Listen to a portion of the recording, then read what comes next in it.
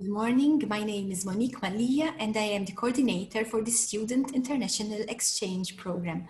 Students who apply now may have the opportunity to study abroad during academic year 2021-2022. During this short presentation, I will be giving a short introduction. I will explain the application process, further preparation, the selection process, timeline, and withdrawal and resits. First, I will introduce uh, the program and the website of the outgoing international exchanges and our UN partners. In the website, the partners are grouped according to the country. Uh, there are universities in Australia, Canada, China, Japan, the United States, and then there are the partner networks. It is important to note that universities in China and Japan may offer a limited number of courses in English, which may not be enough for your program of studies. Um, then there are the universities in the United States and the networks. There are three networks. There is the Australian European Network, which is a small network of Australian universities. There is the Mid-American Universities International and the largest network, which is the International Student Exchange Program, ISEP one important thing is that um, when you fill in the application form, one of the section, one of the sections, you have to input your preferences. You need to input three preferences. Uh, now, if you browse uh, the networks, for instance, there is a university which interests you in the Australian European Network or in the ISEP program, in your application form, you do not uh, you do not input the name of the specific university, but you input the network. So you will select ISEP or the Australian European Network. In this uh, slide, you can see the universities which form part of the ISEP network and at which University of Malta students can apply. It is a program which offers uh, opportunities for students worldwide um, it is important to check the language of instruction at the foreign universities, especially through ISEP. Uh, the reason being is that, for instance, uh, universities in South America offer classes in Spanish. Uh, now I will go through the application process, how to apply, and first we'll go through the eligibility criteria. First of all, uh, the international exchange program is open to University of Malta students registered for a full-time undergraduate degree program, level six. Applicants might, must be 18 years of age by the start of their exchange period and applications from students reading for their final year during academic year 2020-21, this academic year cannot be considered the reason being is that next year you will no longer be registered student at the University of Malta. Uh, we will now go through the documents which you need to submit. Uh, the, the, application form has to be submitted by 7th December on Monday. The application form is a Google form which you need to fill in and also upload some documents. You need to upload the following documents. First, you need to upload a small passport sized photo. Then you need to upload your results, your certificates. If you are a first year student, you need to upload a copy of the MATSEC certificate or results, or the MATSEC final result certificate, or your certificate or results in foundation studies. If you are a mature student or an international student, you need to hand in the certificates which you submitted for admission at the University of Malta. If you are in your second year or onwards, you need to submit an unofficial transcript downloadable from your eSIMS account. Another very important document is the authorization form. The authorization form can be downloaded from the website and it has to be signed by the dean or the director and the head of department or heads of department of your faculty. The authorization form is an indication that you are given permission by the dean, director, and the head of department to participate in the exchange program should you be selected.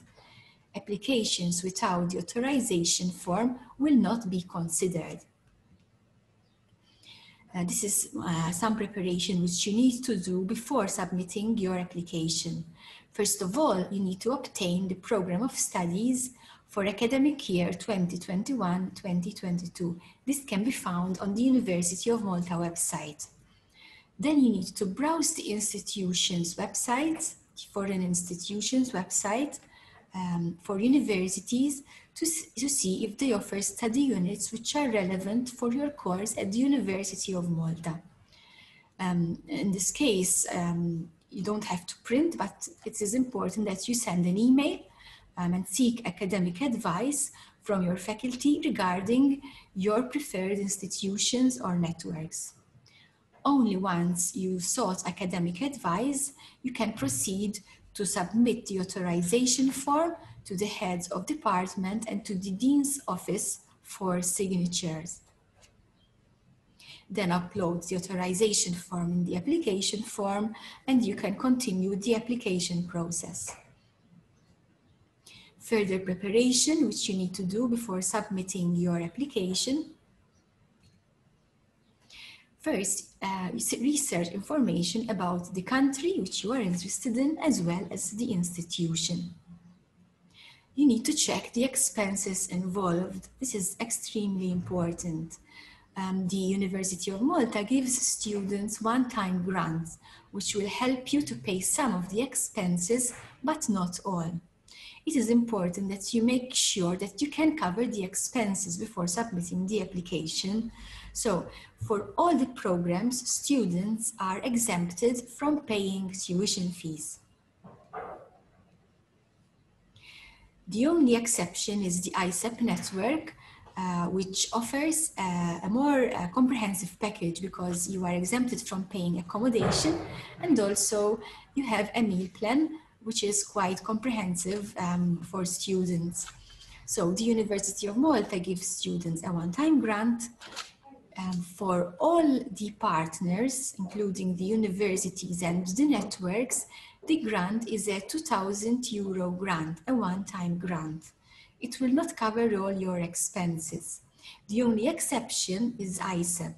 Since students who select ISEP as their first preference are exempted from paying tuition, accommodation, and also meals, the grant is less. It is a 500 euro grant. Um, this is a timeline. So first 7 December is the closing date for applications. In January, students are notified whether they have been selected, placed on a reserve list or not selected. In February, the selected students will start the application process with the foreign universities or networks. The deadlines will vary. Um, then in May, students will send in their learning agreement and program of studies.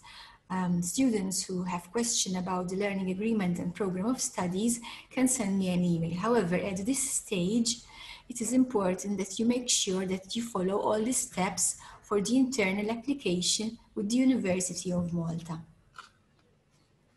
Students will be informed by the end of January whether they were selected, placed on a reserve list or not selected. Now, if you decide to proceed on an exchange, you will be nominated at your first preference. You need to include three preferences. First, we nominate, nominate you at your first preference. Finally, it is the host institution which determines whether you will be accepted to participate in the exchange. So you need to receive an acceptance letter from the host institution. This will take place later on, probably around May and, and June. Withdrawal and resits. If you are selected but do not intend to proceed with the exchange, inform me as soon as possible students who apply and withdraw at a later stage might be taking the place of other successful applicants. And then these students might not be in time to apply due to deadlines at the foreign institutions. It is very important that you pass all your exams. If you study abroad during semester one, you will be leaving before September supplementary session, so it will not be possible for you to resit your exams.